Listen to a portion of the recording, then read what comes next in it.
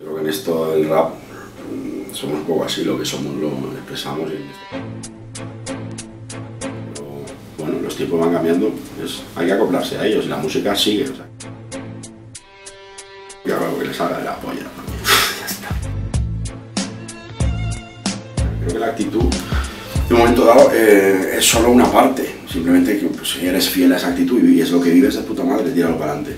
Y hay otra luego que es trabajo, sacrificio y talento, que hay mucha gente que parece que solo con la actitud ya, da igual que haga un rapeo súper simple, porque como tiene la actitud ya súper definida en ese sentido como muy gángster y como, como, muy agresivo, como muy radical, como que lo demás da igual y no da igual. Pero de todas formas están evolucionando, poco a poco los medios van incluyendo gente más joven, gente que sabe un poquito más de qué va la película, eh, y luego están los medios muy generales, los medios más o menos generales, los medios especializados. Con los medios más especializados no hay problema, porque la peña está más al loro. Los generales ya se empiezan a perder y los muy generales no tienen ni zorra muchas veces de las cosas que hablan. Y cuando las tienen que mostrar es de una manera tan superficial que se quedan un poco a medio camino. Yo de todas formas sigo agradeciendo mucho que nadie me pregunte sobre qué es el hip hop ya, porque durante muchos años me han estado preguntando constantemente y eso decía, era muy significativo de lo mal que están las cosas a nivel medio. No, sí, para cultura sí que tenemos preparado temas del nuevo disco, pero también mezclados con temas clásicos y temas antiguos. O sea, es un poquito un medley de todo que queremos hacer. También obviamente mostrar temas nuevos porque necesito también mostrar material nuevo y, sacarlo porque si no siempre sería un poco lo mismo. Además el disco nuevo, la presentación del disco nuevo también un poco en Madrid. Y bueno, es una mezcla. Clásicos, temas de otros discos, temas nuevos, con Z Puya, Abraham, el y Joaquín que me acompañan siempre y seguimos ahí en, haciendo equipo.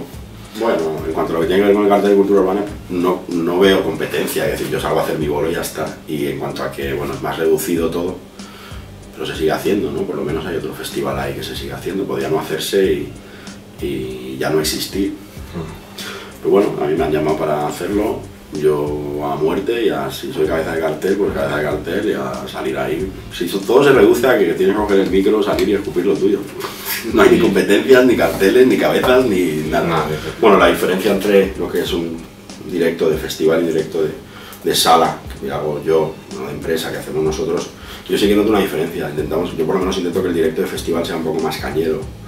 No es tan íntimo, es un poco más... Eh, no sé, tienes que mantener a la peña atenta, pero de una manera más contundente. Es decir, unos, otros, me la cerveza.